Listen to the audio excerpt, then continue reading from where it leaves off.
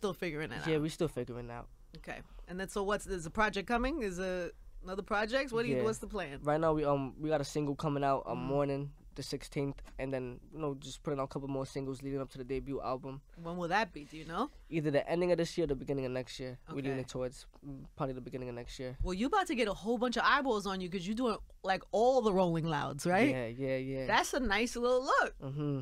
Mm-hmm. And All we about the to be Rolling outside. It's not virtual anymore. We about to be outside, so I'm Yeah. excited for that. Yeah, the virtual one wasn't it. It was calm. it was, was alright, it calm. was alright. It wasn't it. No, this is gonna be different. So you're doing L.A., New York, Florida? other one? Florida. Yeah, in Florida. Miami.